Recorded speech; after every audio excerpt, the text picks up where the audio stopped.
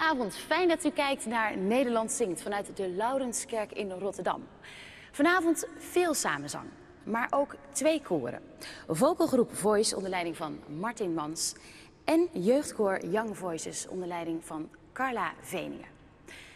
Liederen als Dit is de dag, Joy to the World, O God die droeg ons voorgeslacht, zijn allemaal geschreven door Isaac Watch, een Britse theoloog die door zijn tegendraadse opvattingen twee keer in de gevangenis belandde. Hij schreef meer dan 600 hymns en songs, waaronder het volgende lied: Schepper en Koning.